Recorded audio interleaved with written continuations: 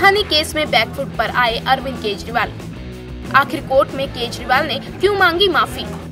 लगता है दिल्ली के मुख्यमंत्री अरविंद केजरीवाल को अपनी गलतियों का एहसास होने लगा है। शायद यही वजह है कि केजरीवाल को मानहानि से जुड़े एक केस में बैकफुट पर आना पड़ा। केजरीवाल ने हरियाणा से पूर्व कांग्रेस सांसद अवतार सिंह भड़ाना की ओर से दर्ज कराए गए मानहानि केस में आखिरकार माफ़ी मांग ली। दिल्ली के पटियाला कोर्ट में अरविंद केजरीवाल ने लिखित तौर पर माफ़ी मांगी। अपने माफीनामे में केजरीवाल ने लिखा कि वे अपने सहयोगी के बहकावे में आकर बढ़ाना पर आरोप लगा गए थे। बाद में पता चला कि वे आरोप सही नहीं है और इसलिए वे माफ़ी मांग रहे हैं। अपने लिखित हलफनामे में केजरीवाल ने कहा कि बढ़ाना पर इस तरह के आरोप लगाकर उनकी छवि को खराब करने की उनकी कोई मंशा नहीं थी। पूर्व कांग्रेस सांसद अवतार सिंह बढ़ाना के मुताबिक केजरीवाल ने उनको लेकर 31 जनवरी 2014 को एक आपत्तिजनक बयान दिया था। अपने बयान में केजरीवाल ने बढ़ाना को देश के सबसे भ्रष्ट व्यक्तियों में से एक बताया था।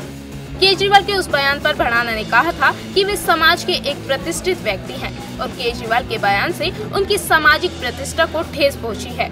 इसके बाद बढ़ाना ने केजरीवाल को एक लीगल नोटिस भेजा और उनसे अपने बयान को वापस लेने के साथ ही माफ़ी मांगने को कहा। लेकिन केजरीवाल की ओर से ऐसा नहीं किया गया। जिसके बाद बड़ाना ने अरविंद केजरीवाल के खिलाफ दिल्ली की पटियाला हाउस कोर्ट में मानहानि का केस दायर किया था। इसके साथ ही एक करोड़ रुपए की क्षतिपूर्ति की मांग भी की थी।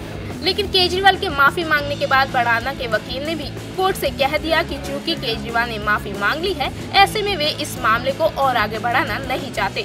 आपको बता दें कि केजरीवाल के खिलाफ मानहानि के करीब एक दर्जन से ज़्यादा केस दर्ज हैं, जिसमें बीजेपी नेता और केंद्रीय वित्त मंत्री अरुण जेटली की ओर से दर्ज केस भी शामिल है।